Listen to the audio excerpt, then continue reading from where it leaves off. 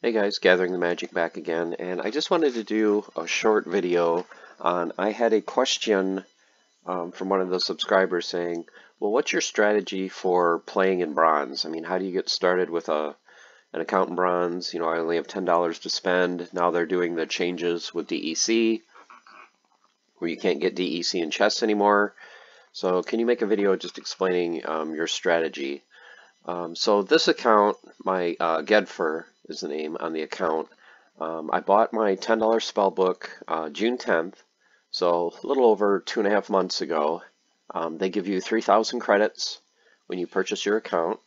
So what I would do every day is I would start renting cards. I would go to the marketplace and I decided on just renting for uh, one or two splinters. I think the splinter I started with was water. So what I would do is I would come to the marketplace and I would look for uh, gold cards. Uh, the reason for that is gold cards give you a 10% bonus. Uh, the next thing I looked at was casting cost because in bronze you're going to have a lot of low mana matches. You're going to have a lot of matches probably under 20 mana. So I wanted to find a lot of cards, you know, in the 3 and 4 and 2 mana cost range. So one of the first cards I looked at was the Cruel Sethropod, which is a great tank. It's great for Little League. Um, for its mana cost of 3, it gives you, you know, decent attack, armor, and defense. So that was one of the first cards I rented. And I can't remember the price then, but you could see even now, just the rental cost is like 0.5 DEC a day. But if you look at for credits,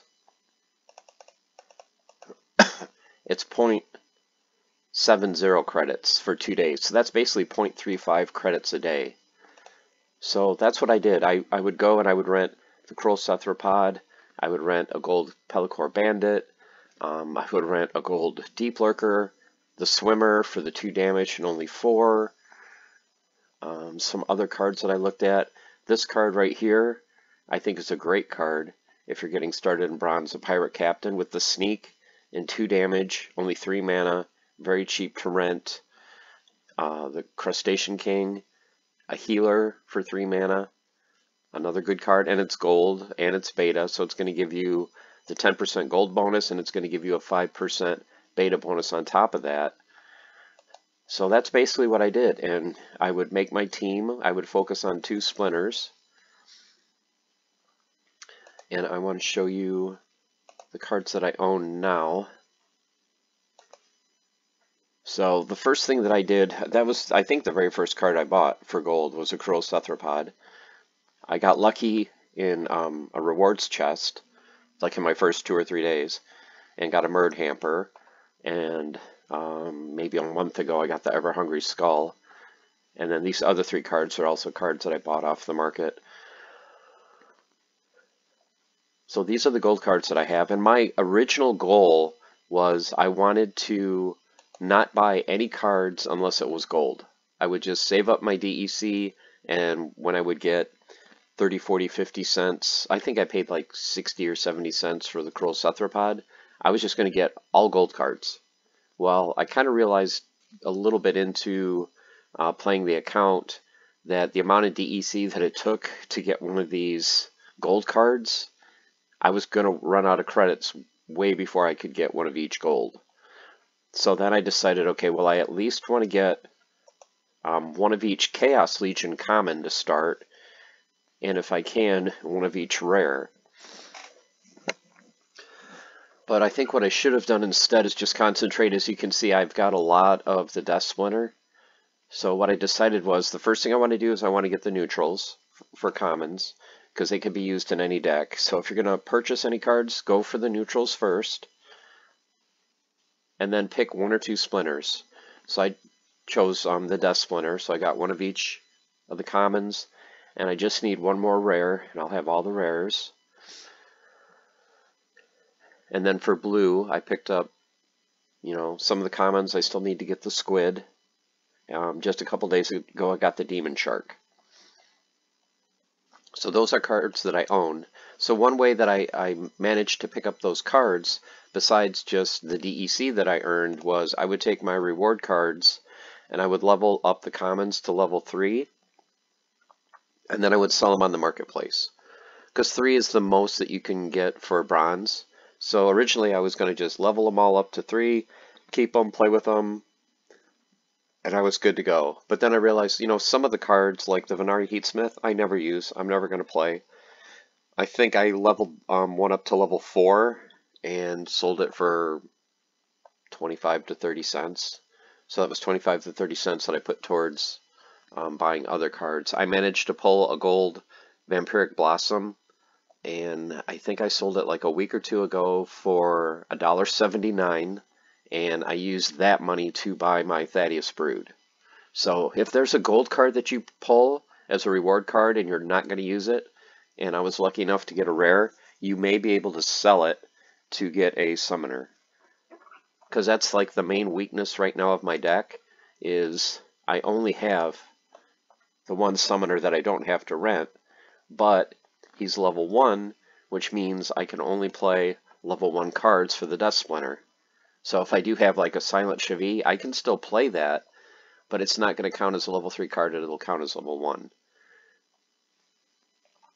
So right now I'm not too concerned about leveling my cards to 3.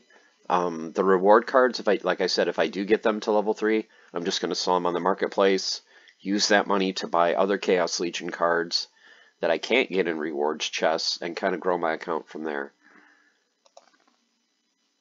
So that's a little bit of my strategy. Um, I try to keep my rentals under 30 credits a day. I mean, you'd be amazed how many cards you can get off the marketplace for fractions of a credit. Or maybe you rent a card for a week for like two or three credits. So if you can make your credits last a long time doing it that way. Um, another thing that I wanted to show you today is this is a market update for the last week um, how many packs sold, and the prices, how the prices have changed. So as you can see for alpha and beta, just being old, slow weeks, um, I think the week before you could see 19 packs of alpha sold. This last week, only three sold. But look at the price jump. Last week they sold for about $137. This week, 159 Beta, 11 packs sold. Um, I was one of the people that bought one. I managed to get it for about $31. Someone sold it really cheap. And the price is back up to $48. They were selling for around 58 uh, The last one sold like a day or so ago for $48. Still incredibly undervalued. I don't understand why beta is not at least $75, $80, $100 a pack. Um, it will be probably in three to six months. Alpha, there's just look, 6,000, that's it. Alpha, some of the most expensive cards. Let's take a look at Alpha, just to show you why I'm so excited about Alpha cards. Go to the market, go to Alpha, just click on regular. Let's not even look at the gold. $1.25 for an Alpha card, and there's less than 10,000 in circulation, really? I mean, look at how ridiculously low some of these numbers are. And then, of course, for the golds, your cheapest alpha gold is over a hundred dollars. And people go oh my god that's expensive. There's only 400 that's it. 400 gold. I mean I know this is probably a junk card but still it has its uses. It's good in Little League but it's an alpha. It's a gold. There's less than 500 I mean people may think I'm crazy. This will be a thousand dollar card someday. And then you look at the epics and legendaries one thing I think you'll notice is for sale, you don't even, there's three, let's look at the legendaries. There's three listed. One of these, one of these, and two of these. Look at how many are in existence, 27, 25, 25. And just to show you, there are nine legendaries for alpha. On the entire marketplace, there's not even, six of them aren't even on here. That's how rare they are. So why in the world are alpha packs only 159 when there's cards? I mean, yeah, these prices are ridiculous. People are just throwing them out there just to see what they'll get. But even looking at the non-golds, you know, you're looking at $110 for the cheapest legendary up to 750. I I don't understand why packs are not. But take it what it's worth. Um, like I said, these will be four figures in a couple of years. I mean, you're going to see alpha packs 1,000, then 12, then 1,500.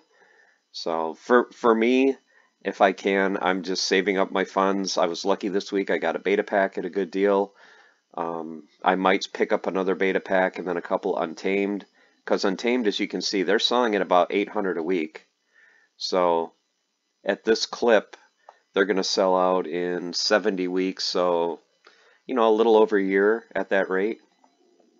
So, year and a half, two years, untamed packs will probably be as rare as alpha packs. You're only going to have a few thousand left, and of course that price is going to go up.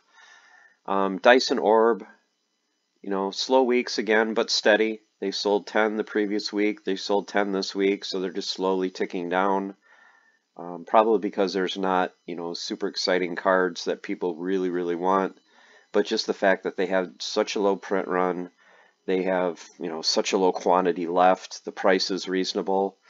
These I don't think are going to skyrocket anytime soon, but I think these are packs that long term are going to steadily increase over time. Uh, Chaos Legion really slowed down this week. Uh, the previous week sold about 100,000 packs this week as of this recording Saturday morning. Um, I try to do this about the same time because I know Chaos Legion, this number is constantly changing.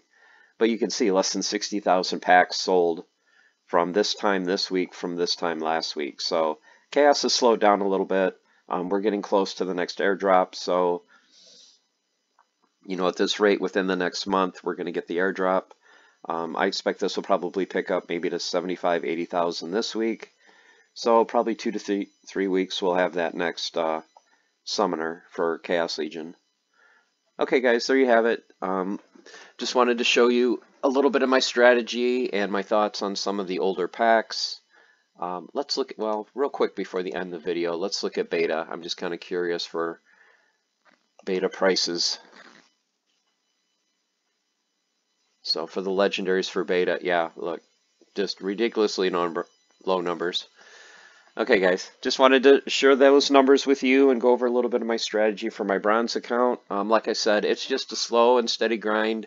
I know it is more difficult now that um, you can't get DEC for chess, but one thing you may want to consider doing just to get some DEC for rentals is go to your cards, level your reward cards to level 3, which is max bronze, um, sell them on the marketplace, and you'll be able to get a little bit of money for rentals. Um, if there's any other questions or comments, please leave them in the comment section below. Um, I will do a market update every Saturday and maybe go through some more strategies as well. Um, thank you for watching. Please like and subscribe.